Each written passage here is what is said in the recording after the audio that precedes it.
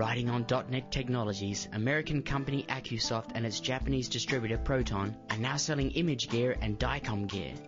Both are similar medical imaging software SDK for DICOM developers to allow them to build solid medical imaging applications.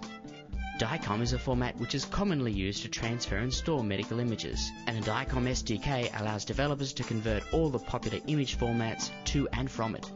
It also allows reading and writing PDF documents, Twain, ISIS image acquisition, and has barcode recognition, OCR, optical character recognition, ICR, intelligent character recognition, and OMR, optical mark recognition, built in.